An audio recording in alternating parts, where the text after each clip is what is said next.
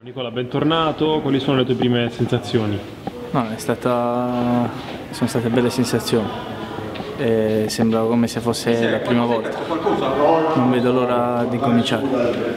Senti, che, che, bari, che bari ritrovi rispetto a quando te ne sei andato? No, ho ritrovato più o meno lo stesso spirito, lo stesso gruppo, è normale che ora devo iniziare a conoscere bene, alcuni ci ho giocato insieme, però il primo impatto mi è sembrato un buon buon inizio. Devo mettermi solo a disposizione della squadra per eh, dare il massimo, ottenere il prima possibile la salvezza e poi, poi ci divertiamo.